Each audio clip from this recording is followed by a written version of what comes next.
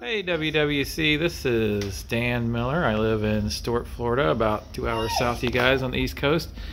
And uh, this is my 55 gallon mixed reef um, that I'm entering to the Pimp My Reef. Uh, although it looks pretty good, it's because I was able to give it a lot of love in the beginning. It's three and a half years old.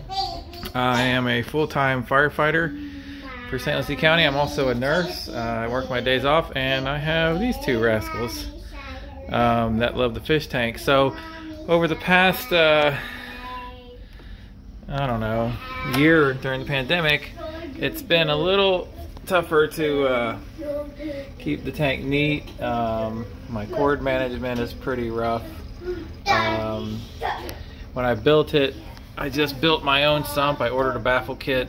Um, I used a simple sump with uh, just a frag rack down there and some live rock um, old AquaMaxx skimmer, and uh, I just dosed some Nopox and nitrate and some uh, calcium reactor and run some carbon. But um, I, this was all DIY, as you can see. It, it just hasn't had a lot of love uh, working two jobs and taking care of the kids, and and that's why you can you can hear the kids in the background because um, if I'm going to do anything, it's with them and. And when I work on the tank, they're they're by me, and, and they love checking it out. Um, the lighting uh, could probably use a little love. It's two T5 retro kits, uh, some ReefBrites, and then some Kessil A80s. I just kept adding as much as I could um, to get it, you know, to work. And, and it does grow coral, and I've gotten some nice pieces from you guys. Uh, the sand has never been cleaned.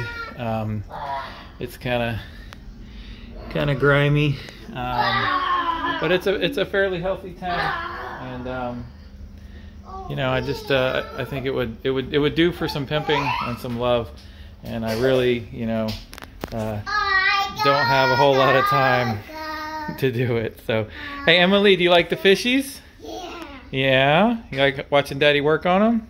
Yeah. You like helping? It's dark in here. Yeah. How's it look in there? Why? Is it messy? Yeah. It's Yeah. Asher, can you can you can you fix stuff in there? Can you get it cleaned up for me? Yeah. Yeah. Well, maybe maybe WWC will will will, will work it out and figure out you know, how to make it work, so. All right, guys. Well, I appreciate it, and uh, thanks for the offer. Um, and I'll be looking out for your videos. I'm excited to see what you guys do with with the other tanks. So I appreciate it. Bye bye.